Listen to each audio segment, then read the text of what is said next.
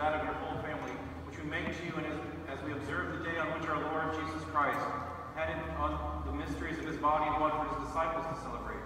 Order our days in your peace. Command that we be delivered from eternal damnation, counted among the flock of those you have chosen through Christ our Lord. Amen. Be pleased, O God, we pray, to bless, acknowledge, and approve this offering in every respect. Make it spiritual and acceptable, so that it may become for us the body and blood of your most beloved Son,